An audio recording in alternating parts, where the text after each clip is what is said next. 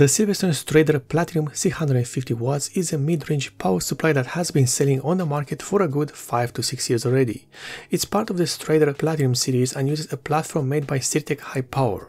There is one simple question though, can this aging power supply be competitive next to newer and similarly priced models?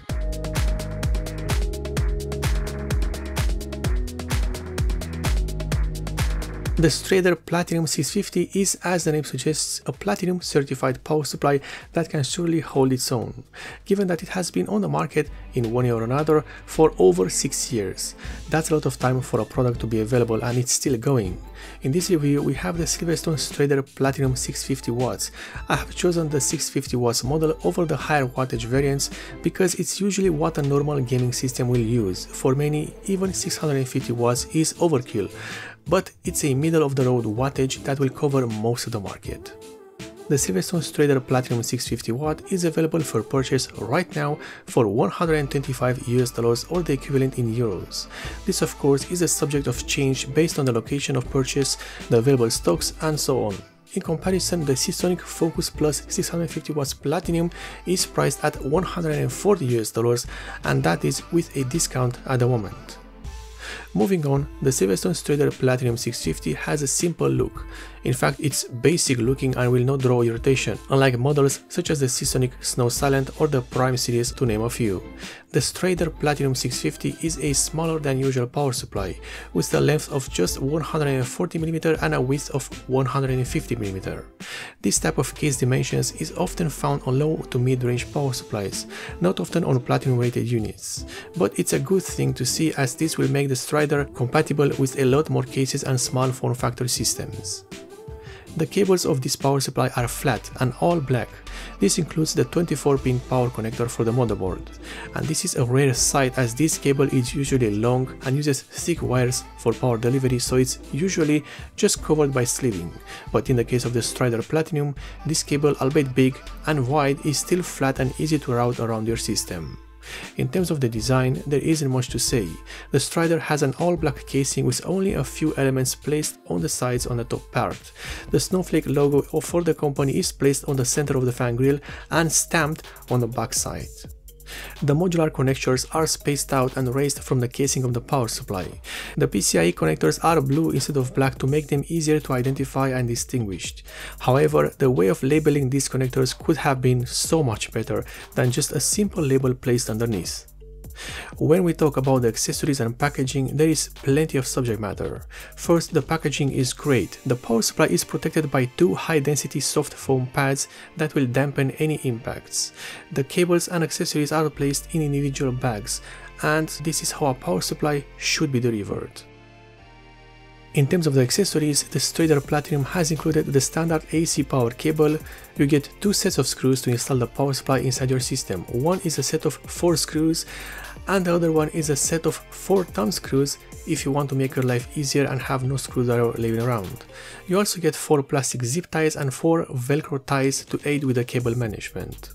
The fan used on this power supply is a 120mm model made by Globe Fan and it has the model number S12025112L. This fan uses a fluid dynamic bearing system and has a maximum speed of 1600 rpm. However, it will stay turned off if the power supply and the system it powers are not pushed to higher loads. This passive system will reduce the overall noise of the power supply and increase the lifespan of the fan as well. Taking the power supply apart is very easy as is the case with many units, however by doing so you will absolutely void your warranty and thus you have no business inside the power supply, especially one that has been powered on at some point. Therefore you will not get to see how I took this one apart. I do things so that you don't have to. Moving on with the internal build and components of the Strider Platinum 650, this power supply and in fact the whole Strider Platinum series has as their OEM the Sirtec high power manufacturer. This is a good sign already as Sirtec, while not being the top of the line manufacturer, is known for doing good work with power supplies, even with affordable units. The main capacitor used on the Strider Platinum 650 is made by Chemicon and has an operating temperature of 105 degrees Celsius and the following specifications. The filtering starts at the back of the AC power cable slot with a single X-cap two Y-caps and a choke, which is covered by a rubber or silicone layer. All of the before mentioned components are installed on a small PCB placed at the top of the AC socket. Installed on a secondary vertical PCB we have the Infineon ICE2H S01GS, which is the switching controller used on this power supply. The 12 volts rail is regulated by four field effect transistors made by Infineon with the model number IPP015N04N. These are attached to one of the main heatsinks of the power supply as they require constant cooling. Speaking of heatsinks, the internal components of the Strider Platinum are cooled by three aluminum-made heatsinks, each of them making direct contact with several components that require direct cooling such as MOSFETs, transistors and so on.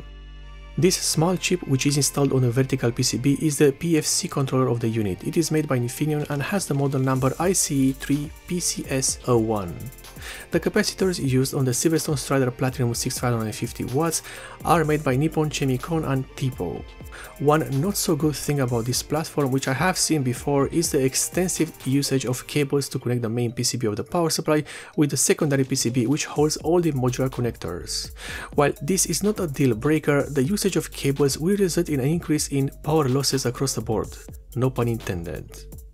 Testing of a power supply is complex and requires a lot of professional grade equipment to get it right. However, that doesn't mean I can't test the main features and performance of the power supply, and I will do it by using my own system to measure the performance. This way you will get a result that you can relate to as it's just a normal system and not a professional grade tool. With a 550 watts of power being drawn from the wall, the Silverstone Strider Platinum 650 reached an average efficiency of 92.1%. This places the Strider Platinum 650 above all good rated models I've tested so far, and right below the Antec HCP Platinum, and plenty of Platinum rated units from Seasonic.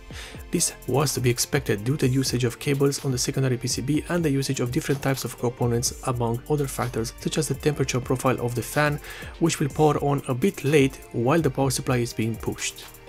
In terms of the voltage oscillations, this was measured with a multimeter connected to one of the PCIe cables that was left unused in my system.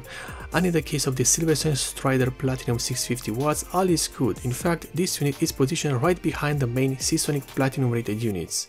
Even though this is not exactly the most scientific test in the world, it is good enough to showcase the performance of the power supply in an easy to understand manner for everyone. And finally, we talk about the actual noise of the power supply. As I've said at the beginning of this review, the fan used with this unit has a semi-passive mode, which means that it will not turn on unless there is a load on the power supply.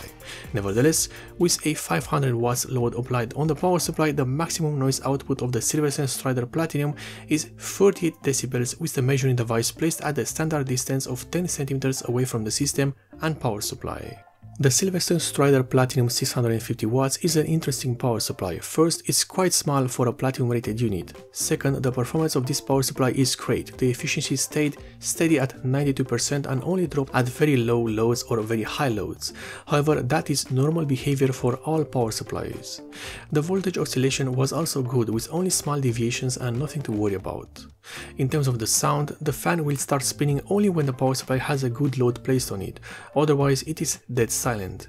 Even when spinning this fan is not exactly loud, it will get noticeably louder if you push the power supply over its rated wattage, but that is understandable. The internal components are of good quality across the board and the soldering quality is good as well. If there is one drawback of this platform is the extensive usage of wires to connect the main PCB unit to the modular PCB. The cables of the Strider Platinum 650 are all flat and flexible enough to not make your life difficult when you cable manage everything in your system. Also, the color-coded modular connectors will certainly help not make a mistake. In terms of pricing, the Silverstone Strider Platinum 650 stands good among the competition, being cheaper than the offerings from Seasonic and at the same price, give or take, as other manufacturers within this segment of the market. Thankfully, this power supply is also offered with a 5-year warranty which is great to see. All is left is for you to decide which trade-off is better for you. As for just a little bit more, you can get a fully fledged Seasonic unit which comes usually with a 10 year or 12 year warranty to say the least. Also, the OEM used for Seasonics are much better in terms of quality. If you like this review, then you might consider subscribing for more and if you want to support me in a direct way, then in the description below you will find the links for both the Patreon and the SubscribeStar pages of this channel.